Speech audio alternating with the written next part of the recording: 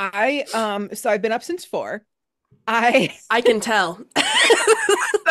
no Tired. offense at all. no, yeah, no, yeah, no. tell. Not only that, but I I I've done my podcast. I've Mhm. made a little Instagram thingy for it. Fancy. I listened to our other podcast that we're putting up next week. Mhm. And I did my physical therapy exercises. I went to the gym. I did all of these things. And so after this, I'm going to go take a nap because I'm tired. And The gym was a bold choice.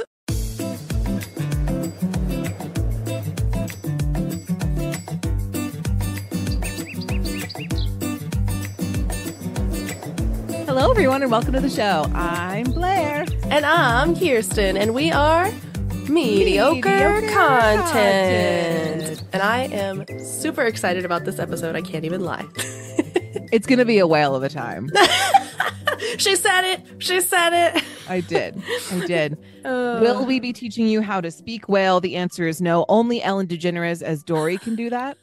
These are the Um, rules. Those are the rules. I don't make them. I just It's abide true. by them. yes, these are In facts. any functioning society, you have to have rules, and that's one of them. So. I wish I could speak whale. I'm- cool. I feel like I that's too much power.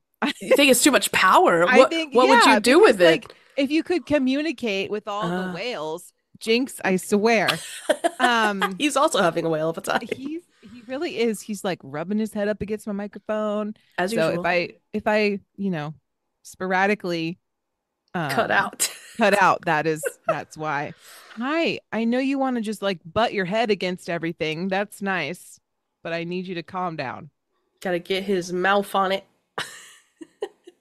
He just likes to hit his head against stuff. I don't know what to It's tell not even stream time. It might even be brain damage. Who knows? Oof, drain damage. Sometimes no, but sometimes he like hits his himself his head against a wall just like randomly and I hear it and it hurts. It sounds like it hurts really bad. Like, what are you doing, man? What are Uh, you doing? That reminds me when we lived in Florida, we had like laminate floors, and Lynx has super fluffy feet. And he would try to run around the house, and he would like Tokyo drift around the corner and hit, the, hit like the doorway, like the door frame. And I'm like, oh, wipe They out. do that. They do that. They get the zoomies and then so just like, There's zero traction. yeah, Oh my gosh. it's the Oh, best. it really is. I feel so terrible, is. but they're having a blast. So Yeah. what are you gonna do? Yeah, gotta be in their bonnet, you know. They Gotta do. do it. All right, what were we talking about before that? Um, Whales. whales. so, yes, we will be speaking of whales. Um and I'm excited because I think whales are like one of the most fascinating parts of the sea that we know of so far. mm-hmm. Mm-hmm. Um so basically I'm just going to disclaim and then I'll let you do the good news and then we'll get on to the whales. Woo. Um, so obviously we're not experts on anything. We're definitely not experts on whales. Um, I did go see whales uh in a whale watching expedition, So but. I, that does not make me an expert, believe it or not. Weird. Um, but if you want to hear about whales and if you have anything to contribute to the conversation about whales, please continue listening Mhm. but just know that we don't know everything about whales. Slash, it, we would be here for like three hours. Oh my as gosh. per usual. So was, yeah, if we didn't skim through a lot of this stuff, we would literally have weeks worth of episodes. yeah, I had to cut down the evolution stuff, and y'all y'all are going to be like, oh my god, this is taking forever. Why is she still talking about evolution? The answer is because this is the short version. The- this is abbreviated even. Yeah. Yeah, So, that makes sense. Anyway, go for it. okay, What's, so what's good? I'm also going to be talking a little bit about uh, species, which is exciting, but these are land species, and it's a new one, which is super exciting. So, in India's remote western Ghats, a gorgeous blue and yellow gecko species has been named in honor of Vincent van Gogh, super cool, whose painting Starry Night was the first thing that entered Ishan Agarwal's mind when he saw it. Found during one of the many expeditions into these underdeveloped and underexplored mountains running parallel to India's western coastline, it enriches both the eyes and the scientific literature. These articles are always so like uh, ag- aggressively Floofy. floofy. Yeah. Yeah. Um, belonging to the genus Nap- Nemapsis. That's what I'm going to go with. It is one of the 2,300 members worldwide and over 100 in India alone. Not so long ago, though, there were only a few dozen. Um, this a uh, genus was found during, or this species, I'm sorry, was found during one such exploration after the flash of indigo and mustard yellow, which caught Agarwal's eye. It looked similar to another gecko of the same genus, which was C. galaxia. Um, however, during the lab work, it, he was suspicious that it might be a completely new species, and it sounds like it was. It it and a second closely related species are described for the first time in a study that was published in the Natural ZooKeys. Found in the, oh my goodness, this is a really aggressive word. I apologize. I'm going to butcher the crap out of it. But found in the Shrivillipother megamalai tiger reserve. You did great. I th- You did the best. Yes. I did. Okay. There are a lot Um, of consonants there. A lot. Um, but Agarwal suspects that this gecko is receiving much greater protection than many of India's native reptiles because of its location under this kind of umbrella of the tiger region. Um, umbrella conservation strategies allow naturalists to advocate for the conservation of a single species who need whose needs of territory, prey species, and protection are largest, and ipso facto helps conserve dozens or even hundreds of other species that share that territory. Don't ask me what that means. I don't know. Okay. In, in this case, protecting tigers means also protecting the geckos, is what you need to know. And he says that these new techniques for studying DNA will also allow much greater specificity in describing species, and that this particular genus is extremely diverse. So, super cool to have an entirely new species of anything at this rate. Truly. Um, and even cooler that it's kind of protected because of tigers, of all things. Super cool Neat. different. Okay, so the next is space news, because why not? Space. space. Uh, the ocean is kind of like our space, you know, on the planet, I would say. Right. So the, then the conspiracy theory holds true Mhm. that they found something underneath the water Yes. and they were like, nope. And then they were like, we need to get off this planet ASAP. Somehow space was safer. Yeah. So weird. Anyway, Even though we can't breathe. So, like, in either, I would like to say, in either location.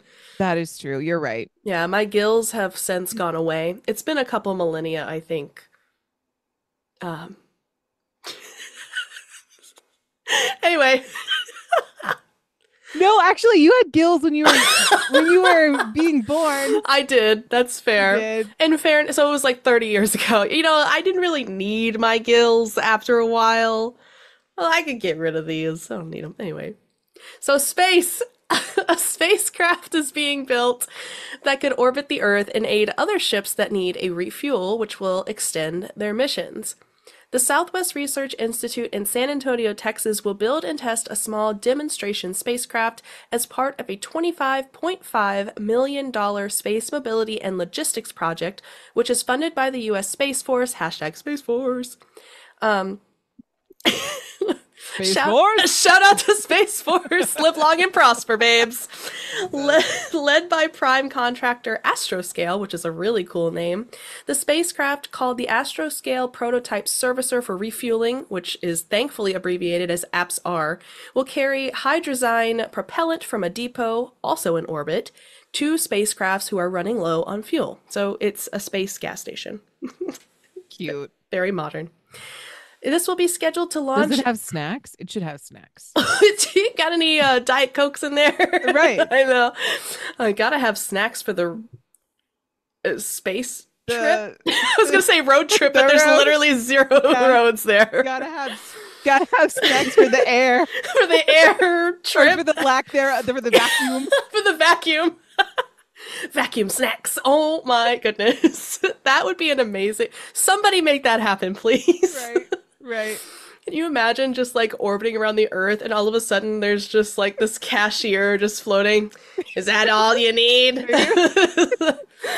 oh, uh, yeah, one one icy, please. Right. Uh, where was I? Anyway, scheduled to be launch ready by 2026, the APS-R can service any spacecraft fitted with a compatible refueling port. Uh, quote, running low on fuel is a common issue for spacecraft in Earth orbit. When they have extended all their fuel, their mission ends, even though the vehicle may be in otherwise excellent health. And that was a quote, quote by staff engineer Steve Thompson. Um, by having this refueling vehicle, it will not only extend their missions, um, they can also get additional lifetime out of the spacecraft that's already in orbit. So it's not going through like ascent and descent through the atmosphere, even though they're obviously made to do that, but it does create wear a- and tear. That takes a lot of energy. It does. And, you know, It does. So you're already out there. If we can make it easier to stay out there and complete the mission, that's the best um, the best move. So the APS-R will operate in geostationary orbit around the Earth, meaning it will follow a circular orbit in sync with the Earth's rotational period of 24 hours. And over the next 16 months, it will construct uh, the host vehicle, uh, which will be pretty small apparently, in the Institute's new processing facility. The maximum dimensions are 24 by 28 by 45 inches when stowed for launch, and the total vehicle launch mass will weigh just at around 437 pounds, including the propellant. And when the host spacecraft is complete, they will integrate the astroscale supplied payload and, of course, perform system level environmental testing to prepare for actual launch. So, lots to do. Um, but this is great news because we don't we're still obviously exploring space but it's really difficult like i said for wear and tear of materials but also like longevity of the actual mission. Yeah. um to have to you know keep coming back and forth. So this will be great. It might even be able to extend uh the range at which these crafts can go. Uh so good good news for exploration in space. I like it. yeah and now i suppose we'll be talking about a different level of space We're going to be talking about creature a creature that lives in the ocean. We're not talking about space. space It's not- ocean No. no. Uh, have you ever seen those like uh like the constellations that like have the whale or whatever? Yes, I have. It's so stinking Mhm. cute. It is Anyway. cute. It is. Um okay, so we're going to be talking about mm, whales which are part of what are called um cetaceans. Is that what is that how you would pronounce that? Mhm. Yeah. Okay, C E T A C E A N S, which includes the whales, dolphins, and porpoises, which are so cute. they We love a good porpoise. Um, what porpoise do they serve? Sorry. I'm done with you, man. That's fair. I'll mute myself. It's fine. Um, okay, so common names would include whales. Cetacea is the scientific name. They are of the diet carnivorous, um, believe it or not. Woo. And lifespan, which I think is funny, is unknown. They just live forever. They're like tortoises. right. Um, and I think you know there's a variety of reasons we don't know. I mean, a lot. I, I don't think that goes for all species, but I'm pretty sure, like for the larger ones, they go pretty deep, so we don't always know like where they're at. mm-hmm, mm-hmm. Um, they can be as little as nine feet up to 98 feet long, Jeez. which is a lot, and then they can weigh. Marginally. Uh, the smallest is 500 pounds to 200 tons. Yeah. That's a lot. That kind of makes it made me have like a little shiver down my spine. Needless to say, whales Mm. are the largest animals on Earth. They live in every ocean that we have. Um, the massive mammals range from 600 pound dwarf sperm whales to the colossal blue whale, which is what everyone thinks of when I think people would probably think of two different types probably the blue Mhm. whale, which is Mhm. like the biggest one, Mhm. or the humpback whale, which is the one that goes. whales. Yeah. mhm, yeah. that like goes out of the water and does the fun little breach situation. It is fun. Yeah, I've seen it in real life before. It We're is so wild. I bet it is. Um, and so the blue whale can weigh up to 200 tons and stretch up to 100 feet long, which, for reference, is as long as a professional basketball court. Yeah. A little unsettling. Um, but it's fine because Caitlin Gl- Clark can still make the shot. It'll be okay for her. Just throw that in there. It's okay because she has girl power. She does. Um, I I literally knew nothing about basketball at all until this women's college season, and I think learned that's about. a fair start. I yeah, I'm down. I think we need to do like women's sports at some point. we do. We Yeah. do. Like the National Women's Hockey League, need to do that. Mhm. Women's basketball, need to do that. Softball, oh my gracious, we need to do that. Mhm. Anyway, I digress. All right. Yes. Well, we'll get there. We will will. get there. Not us coming up with other podcasts while we're doing the podcast. This happens all the time now. This happens every year. No. Every year. I love it.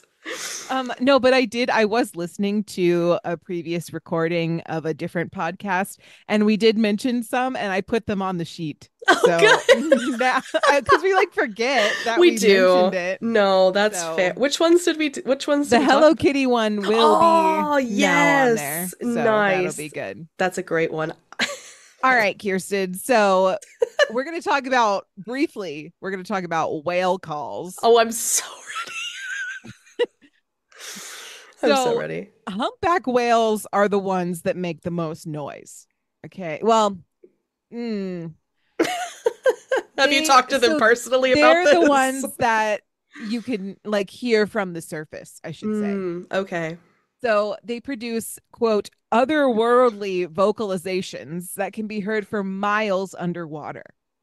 The song's complex combinations of moans, howls, and cries that can that can continue for hours are produced when whales push air around in their heads. Me after Mexican night.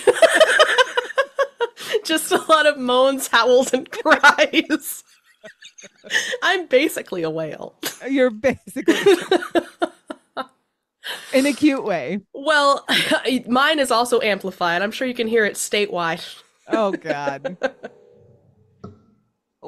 Okay, so they push the air around and they amplify the sound through a blob of fat that perches on the top of their jaw, That's so which is wild. It is wild. Um it's thought that whales communicate through the calls, which researchers believe can be heard for thousands of miles.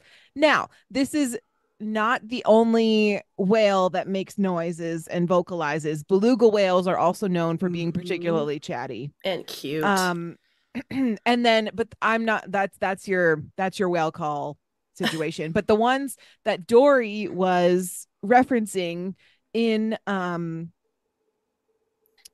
uh Finding Nemo, that's the movie. Mhm, Got it. Um were humpback whale calls and they were almost consumed by a humpback whale, so it makes very good sense. Makes mhm. very good sense. Mhm.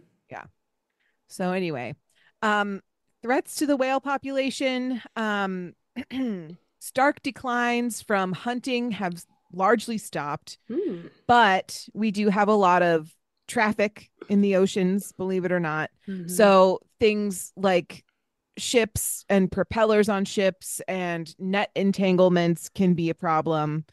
Um, sonar has been developed to like help avoid this Mhm. obviously uh but it's not a perfect system uh and sometimes the whales get curious i don't know Doesn't so didn't uh tell me if I made this up. Didn't they say that sonar may also like create problems with their communication as well? i don't know uh i didn't find anything in this particular Uh, yeah, yeah. research session about it um but i yeah i don't i don't know anything about that to be honest Interesting. Yeah. I'd be interested to know.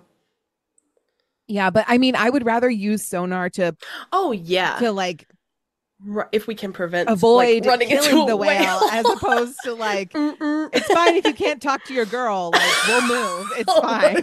You know what I mean? You're being so dramatic. Dramatic. Right. Oh my god. That's okay, great. so now we're going to talk about the evolution of whales, and it's it's going to be interesting. Let me. So, Okay. believe it or not, believe it or not, Mhm. whales used to walk on land. Everybody, take a moment and breathe that this in. really makes me upset. Get off my land. Yeah.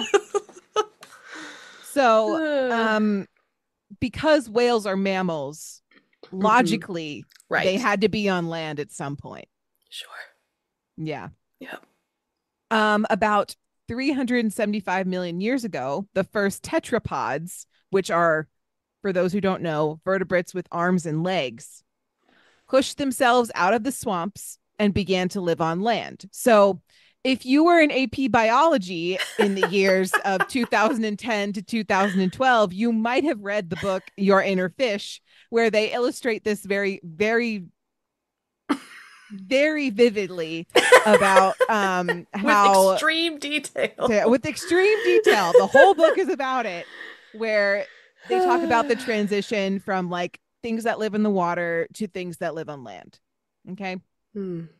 It's actually a really good book. It's very well written. It Mhm. kept my mind occupied as an 18 year old, which, you know, Perfect. difficult to do. Agreed. All right. Um, this major evolutionary transition set the stage for all subsequent groups of land dwelling vertebrates, including a diverse lineage called synapsids, which originated about 306 million years ago.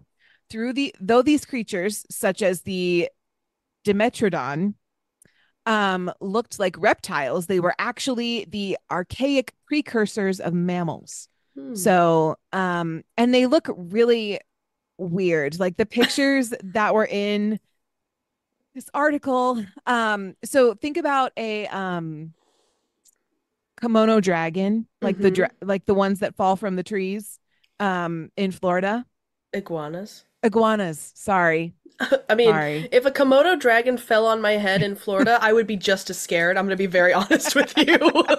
So no, think about the big iguanas Yeah. that are in Florida.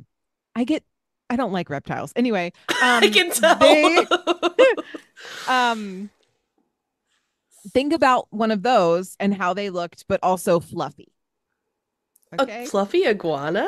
yeah Fancy. with like, with like furs oh my, she is draped in furs. Fur- yeah Draped in a leopard mink. That'd be perfect. so anyway think yeah anyway uh, by the time the first mammals evolved 200 million years ago, however, dinosaurs were the dominant vertebrates, obviously. hmm Um, Jurassic Park. No, I'm just kidding. Uh, Right. mammals diversified in the shadow of the great archos archosaurs and they remained fairly small and secretive until the non-avian dinosaurs were wiped out by a mass extinction 65 million years ago. This global catastrophe cleared the way for a major radiation of mammals. It was only about 10 million years after this extinction and more than 250 million years since the earliest tetrapods crawled out onto land that the first whales evolved. These earliest cetaceans were not like the whales that we know and love today. And only recently have paleontologists been able to recognize them. So it took us, and you'll be shocked, it, it took us a hell of a long time to Mhm. like just to figure out the timeline from mm, whales being on land to back in the water. So, Mm, mhm. Um, for more than a century, our knowledge of whale fossil record was so sparse uh, that we did not know what whale inse- ancestors looked like.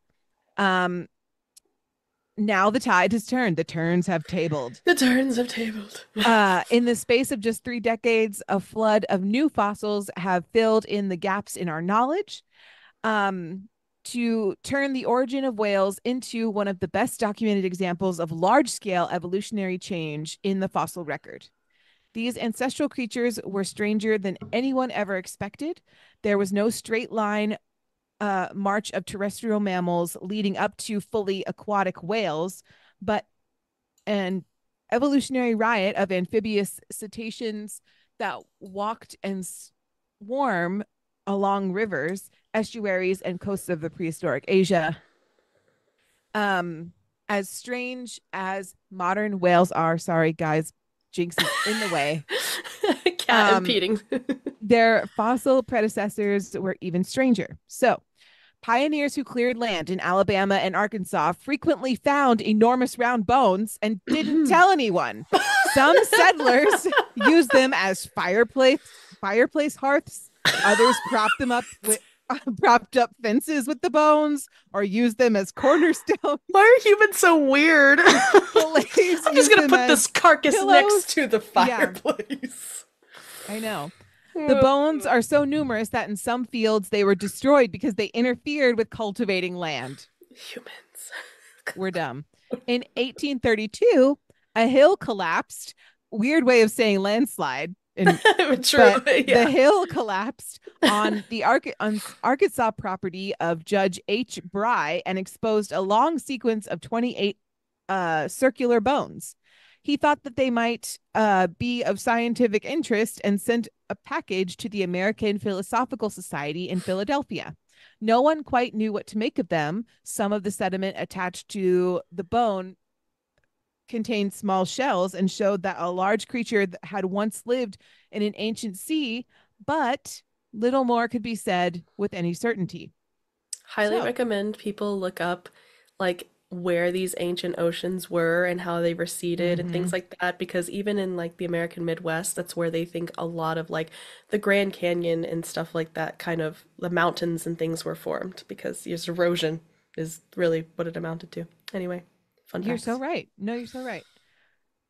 Um Bry's donation was soon matched and exceeded by that of Judge John Creagh from Alabama um, he found vertebrae and other fragments while, uh, you know, blowing up his property. so random. and also sent off a few samples to the Philadelphia Society. Richard Harlan reviewed the fossils, which were unlike any he had seen before. He asked for more bones, and Creagh soon sent parts of the skull, jaw, jaw, limbs, ribs, and backbone to the uh, of the enigmatic creature. Given that both Creagh and Bry said that they had seen intact vertebral columns in excess of 100 feet in length, the living creature must have been one of the largest vertebrates to have ever lived. Furthermore, Harlan thought that the bones were most similar to those of extinct marine reptiles, such as the long necked ple- ple- plesiosaurus mm-hmm. and streamlined Ichthyosaurus. Um, he tentatively assigned it the name of Basilosaurus. Um, he he wasn't certain though. Mm-hmm. The jaw contained teeth that were a different size and shape. Um, so it didn't match. We weren't matching. Mm-hmm. We didn't know mm-hmm. what this was. We're working on it. We're trying to figure it out. We're working on it. Um, Harlan traveled to London in 1893 or 1839, sorry, uh, to present the Basilosaurus um, to some of the leading paleontologists and anatomists of the day. Richard Owen, a rising star in the academic community, carefully scrutinized every bone, and he even received permission to slice into the teeth to study the microscopic structure. Hmm. Um, his attention to such tiny details often um, ultimately settled the identification of the sea monster. Um, because obviously they thought it was a sea monster at this point. What else could it um, be? it's a Liopleurodon. monster. oh. It's a yes. it's a Liopleurodon, Charlie. Charlie. Oh God. What a throwback. We just dated ourselves. I well, I, am a nice date. I, I wouldn't mind taking me on a date or two. Carl, you can't kill people. oh, oh, oh, I, I did not I know that. Know that. Hand, I'm hungry for hands. My tummy has the rumblies that only, only hands, hands can, satisfy. satisfy. Why do oh, we know this still? It's disgusting. It's wild. anyway. okay, so l- long and short of it, Charles Darwin came out with his theory not short after all this was happening. and um the fossil record was so sparse that no definite determination could be made obviously Mm-hmm. um and Charles Darwin speculated about how natural selection might be might create a whale-like creature over time. So his theory was in North America, the black bear was seen by Hearne swimming, uh, Samuel Hearne, uh, which was an ex- he was an explorer, I guess, Mhm, um, mhm. swimming for several hours with with his mouth wide open Oh. um thus catching like a whale insects in the water right so sure. darwin's theory was that bears are the evolutionary product of large whales in some way Okay. Okay. actually no i take that back that's what it came off as i guess i should say so Yeah. like darwin was widely ridiculed for this particular uh theory i guess Yeah, which he was widely ridic- ridiculed for a lot. A lot of things. yeah. um he was on Critics- something. yeah yeah and so his critics took it to mean that he was proposing that bears were direct ancestors of whales which is not true darwin um, Right. darwin um ended up modifying the passage um and went with the basilosaurus Mm-hmm. Mm-hmm. theory, right? So we're still unknown, not quite sure. Um let me see. So T.H. Hus- Huxley in 1871, Darwin asked whether um whether the ancient whale might represent a transitional form, and Huxley replied that there could be little doubt that the Basilosaurus um, provided clues as to the ancestry of whales. Huxley thought that the Basilosaurus at least represented the type of animal that linked whales to their terrestrial ancestors. If this was true, then it seemed probable that whales had evolved from some sort of terrestrial carnivorous mammal. Other extinct whales, um, another extinct whale called the Squalodon, a fossil dolphin with a wicked smile and full of triangular teeth. I think you guys all know which one that is. Horrifying. Um, similarly hinted that whales had evolved from meat-eating ancestors. Um, so while all this was going on, scientists speculated about what the ancestors of whales might have been like Mm-hmm. the anatomist William Henry Flower um, pointed out that seals and sea lions use their limbs to propel themselves through the water, while whales um, lost their hind limbs and swam by oscillations of their tail. He could not imagine that early cetaceans used their limbs to swim and switched to tail only propulsion at some later point. Okay Mm-hmm. then there they went over like they were like well otters and beavers Mm-hmm. uh were a better uh, better alternative for models of the earliest terrestrial ancestors of whales but still like it's Yeah. hard to make the connections right Mm-hmm. so basically everyone's like what do we do we have no idea what's Yeah. happening Yeah. um we may conclude by picturing ourselves some primitive generalized marsh haunting animals with scanty covering of hair like a modern hippopotamus right? Mm-hmm. um but with broad swimming tails and short limbs. Um omnivorous in their mode of feeding probably combining water plants with mussels worms and freshwater crustaceans uh gradually becoming more and more adapted to fill the void. Um but Mm-hmm. by the turn of the 20th century, oldest fossil whales were still represented by the Basilosaurus and similar forms like the Dorudon and Proto Proto Pro, Protocetus Yeah, that's what I would say. and all of their and all of which were fully aquatic. But there Mhm. were no fossils to bridge the gap from land to sea, et cetera, et cetera. Basically, everyone, all the smart people in the world were like, we don't know what to do. We need more evidence. What's going to happen? What's a We don't whale? they were And so- not having a whale of a time. No. And so for decades, from at least the 1890s onward, Yeah. they were like, I don't know. All of them just shrugged their shoulders. Yeah. Mm. And that's science, ladies and gentlemen.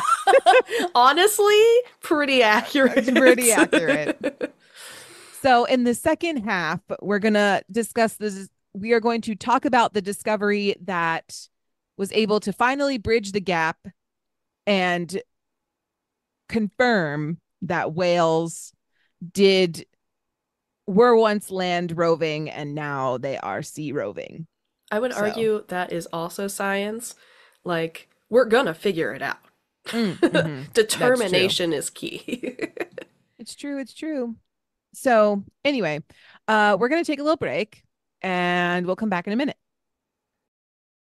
Hi, Kirsten. Hi, Blair. Do you have cats? Why, yes, I do. Then you should play mediocre content for your cats And why is that? because it has been shown to soothe cats and reduce hairballs. Really? Yes, in fact, I play mediocre content for my cats too. Mediocre content is for all pets. That's so great to know. I will play mediocre content for my cats right now. You should. Everyone should listen to mediocre content with their pets today. Mediocre content has not been shown to reduce hairballs or soothe any animals of any species. In fact, it's very probable to create the exact opposite effect. Please use caution while exposing your furry friends to mediocre content. It's also pretty dodgy for humans, so listen at your own risk. Mediocre content is not responsible for any negative effects of podcast listening.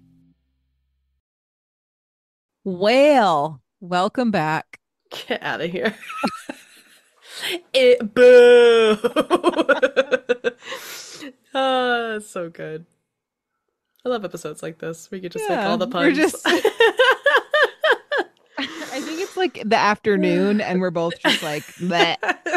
That's what happens, you know? It, look, again, we say this a lot. If you haven't come here for mediocre content, are you even in the right place?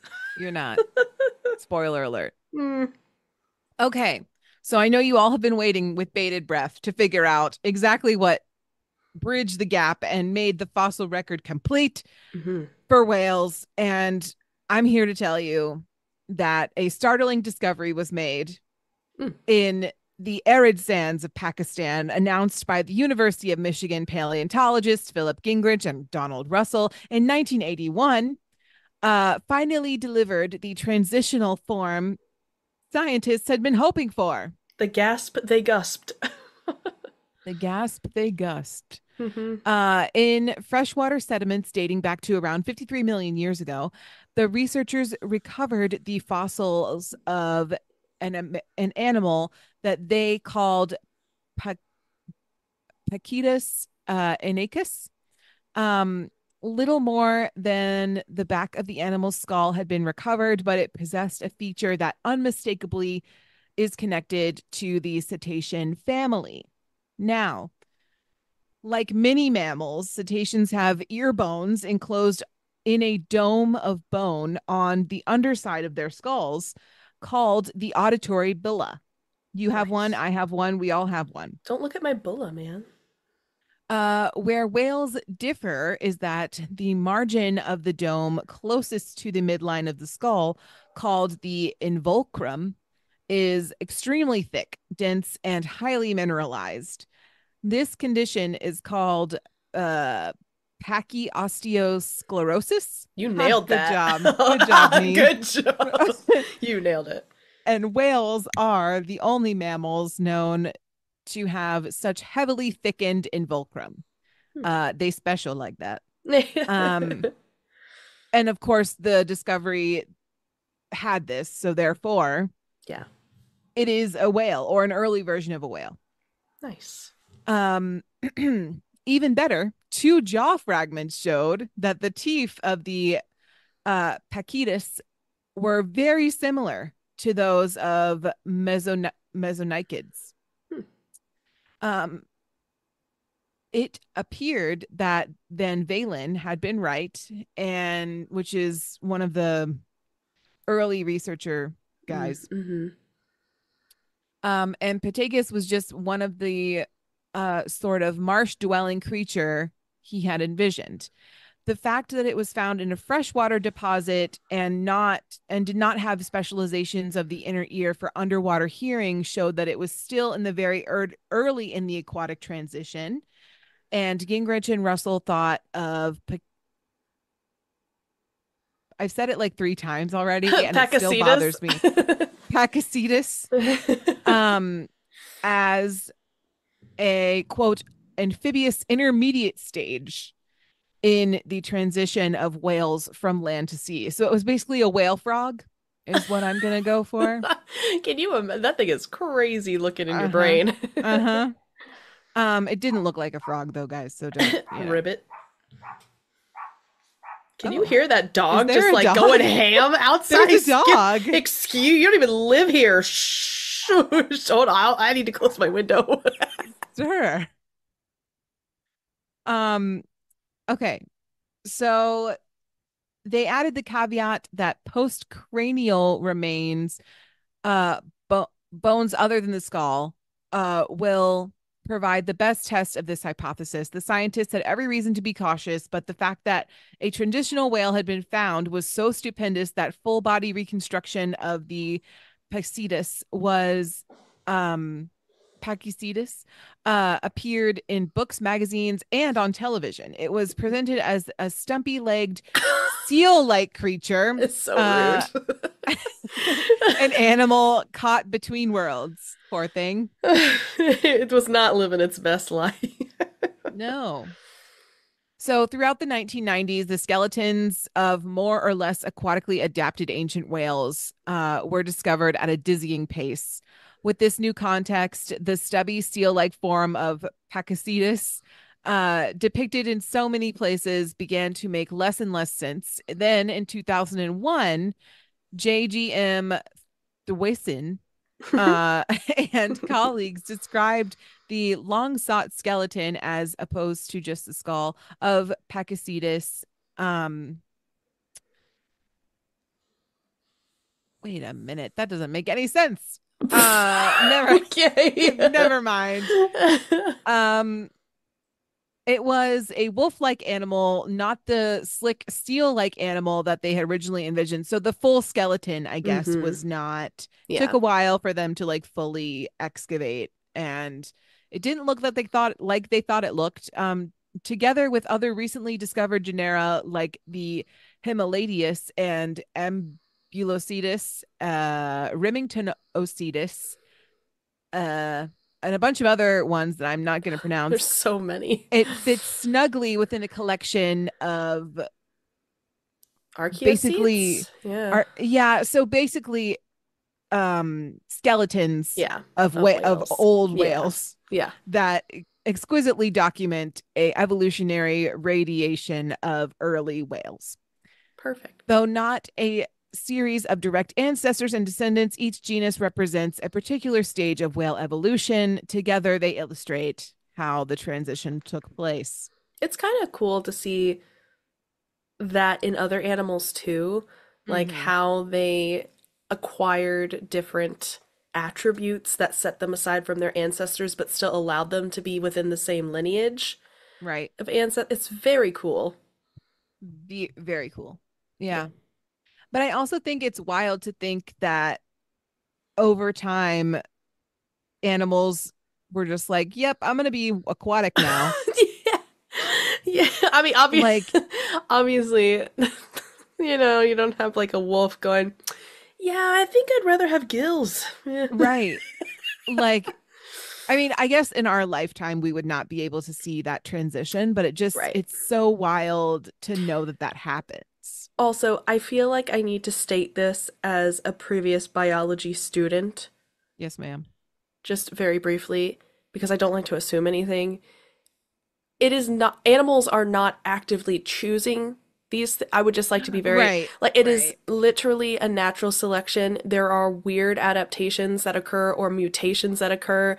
And if you look at the history of animals, It's essentially the whole the strongest will survive. No, that's pretty accurate. And those attributes that allowed it to survive just become ingrained in their lineage. Right. So like ultimately what happened with the whales is like their environment became too toxic and one whale was like, "Oh, well I have this cool ability to like do something advantageous in Right. this water climate and then I'm going to reproduce and pass it on to my kids." That's what happened. And sometimes it works the opposite, is the Yeah. thing. Like, it's not Yeah. always like an advantageous thing, but in cases like this, it just so happened by pure luck of mutation and weirdness alone that it happened. So I just want to be Yeah. very clear about that. Yeah, environmental stressors Yes. and genetics. Indeed. Science rules.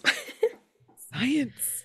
All right. Um and if you're in the comments talking about how evolution isn't real, you can move right on along. I mean, feel free to comment it, but uh, just be very clear. We have no on room for you here. I'm so sorry. oh my goodness. All right. So now we're going to talk about the types of whales and there are 80 types of whales. But so we're not going to talk about all 80 of them because then we'd be here for another hour and a half and I don't want to do that. That's fair. So, and I'm sure neither do you. So here we are. Um, there are two main types of whales, which are the ones that have teeth and the ones that have the little bristlies, and uh, which are called baleen.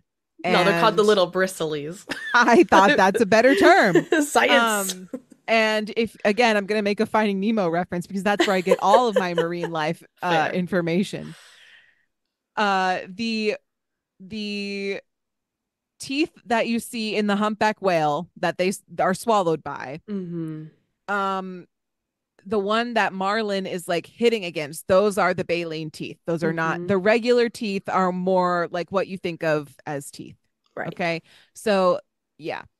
Um and it's also a fact that toothed whales eat like bigger things, so like squids, fish, and like seals and stuff. Um whales with the baleen usually go for smaller things like krill. hmm hmm Yeah.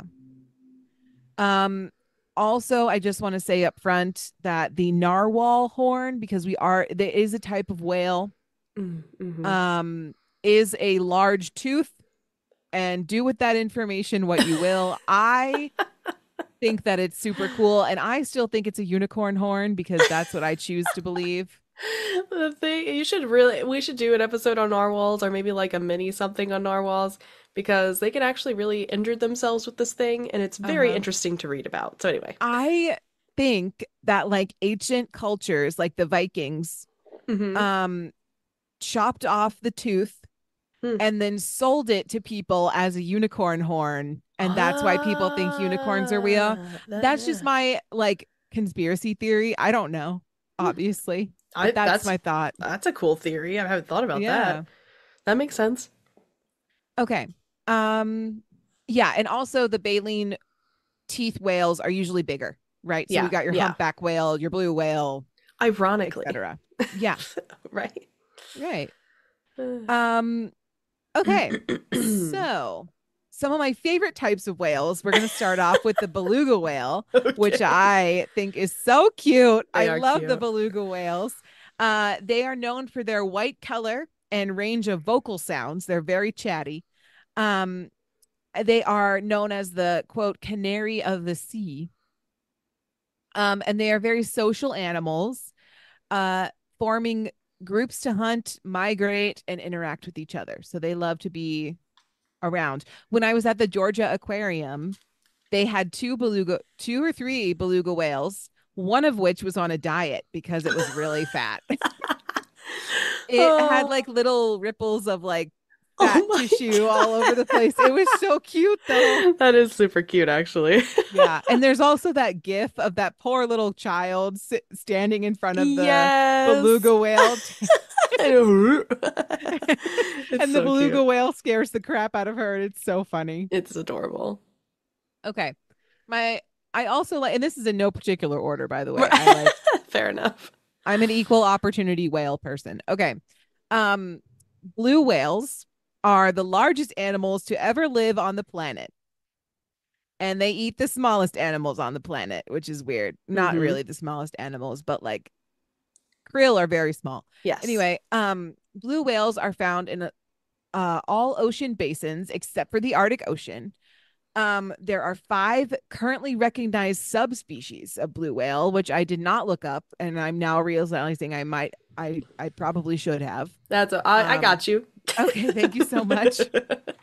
We have the bowhead whales, um, which are one of the few whale species that reside almost exclusively in the Arctic and the subarctic waters, experiencing seasonal ice coverage uh, primarily between 60 and 75 north latitude.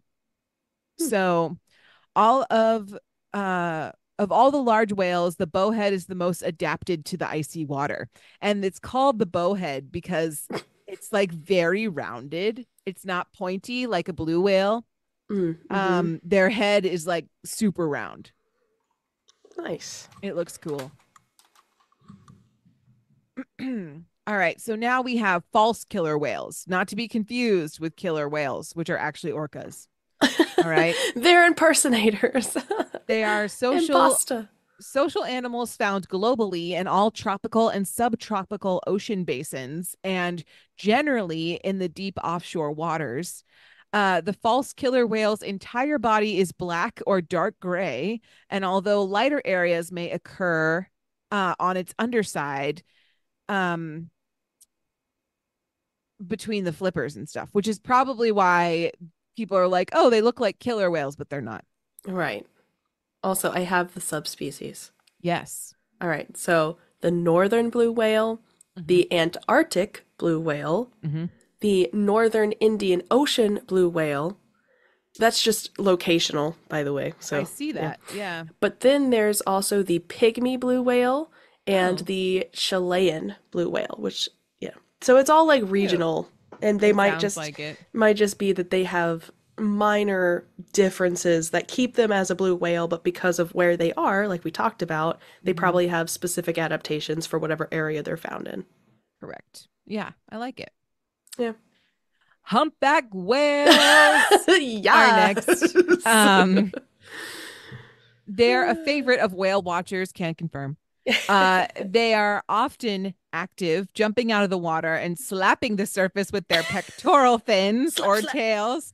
We saw a mom, uh, humpback whale and a little baby, that is so which was actually very large, but that's neither here nor there. sweet little baby.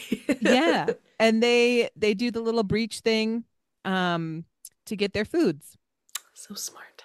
yep um and now we have the killer whale which is more uh accurately named the orca. Hmm hmm this is the ocean's top predator and i know this because i saw a video the other day of a great white shark getting absolutely demolished by an orca.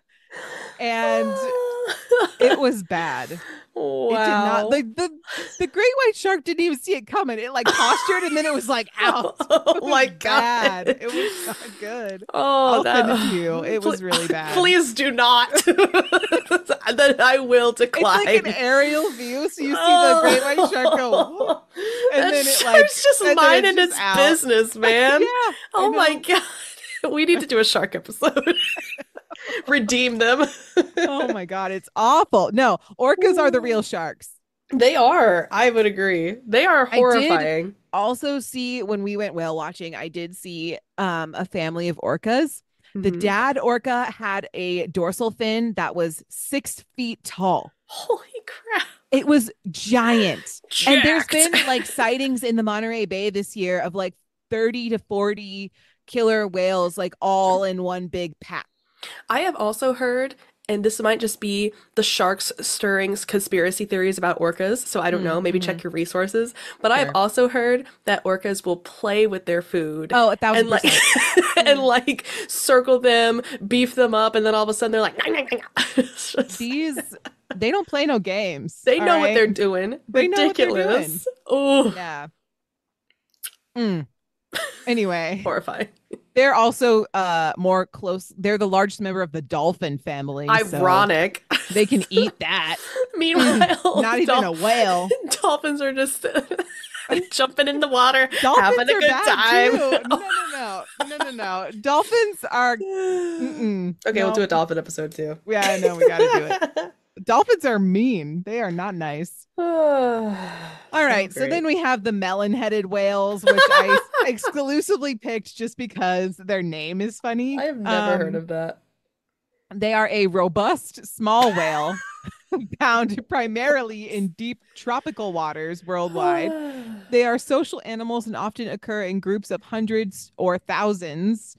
Um, and it's exactly what you think it is. Their head is like more round than the bow-headed whale, wow. and they cute. What a melon. They got like a nice little melon part on the front. Isn't um aren't those like uh beluga whales used for their echolocation or whatever, their communication? Yeah. Yeah. Mm-hmm. It's all Yeah, in the they do little like that thing. like Yeah. Puma looking at the birds. No, exactly. yeah. it's the same thing. Pretty if you have a cat, you know what I'm talking about. she do have a dome. All right. And then we got the narwhals, which are exclusively found in the Arctic Ocean. Uh generally male narwhals have the big old tooth that sticks out Mm-hmm. their forehead. Um and it's a long clockwise spiraled tusk resembling a unicorn horn.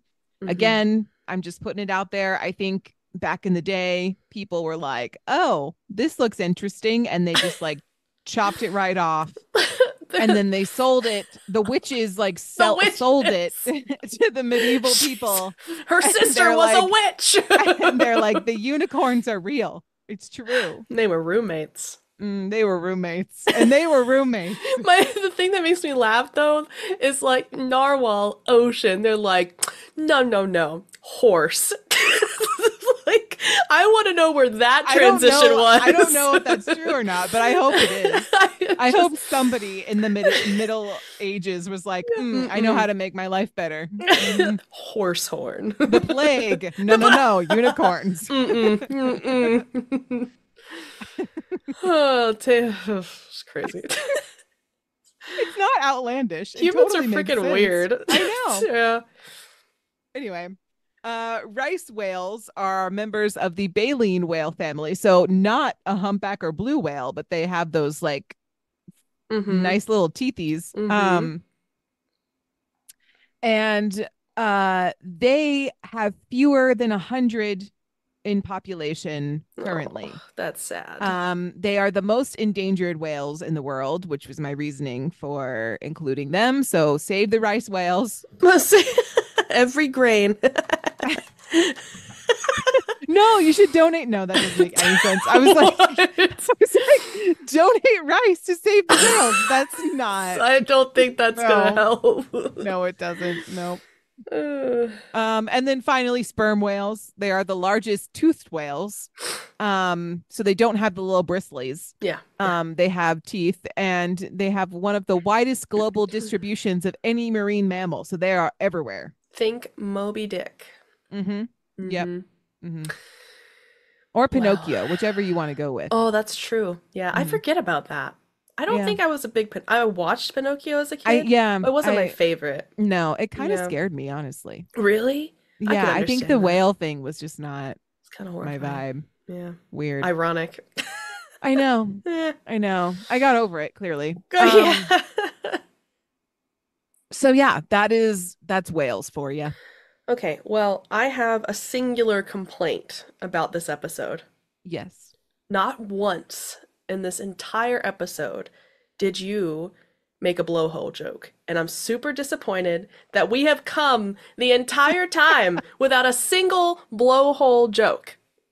I I thought it was kind of inappropriate to be honest with you. That's disgusting. I, I no, don't but even I, know I you didn't anymore. even I didn't even think about it. It was wide open and I didn't even Oh. think about it. That's what she said. And so, with that, we would love to know your blowhole jokes. So please send them to us at mediocrecontent at gmail.com. Hit us up on our Instagram, TikTok, YouTube. Leave us a comment. We'd love to see you, love to hear from you, all the good stuff. We will feature you. I, I feel like we haven't said this, but we have had a little bit of mediocre mail in the past. We'll feature your comment so long as it's appropriate, unless it's about blowholes, and then that's kind of the exception. You so just make asked them to comment on blowholes, and I now did. you're like, mm, I don't think so. with the exception of blowhole content, make sure it's appropriate. All of that to say, please reach out to us. We will be sure to read and comment back. Also, you can connect with us live, of course. Same handle over on Twitch every other Thursday, 3 p.m. PST, 6 p.m. EST, 11 p.m. BST. Pick the time zone or make one up, whichever one works for you. don't forget us to rate. don't forget to rate us five stars. Don't forget us to rate five stars either. Uh, wherever you listen to podcasts, and we will see you next week. This has been mediocre content. Thanks so much for listening. Cheers! Cheers!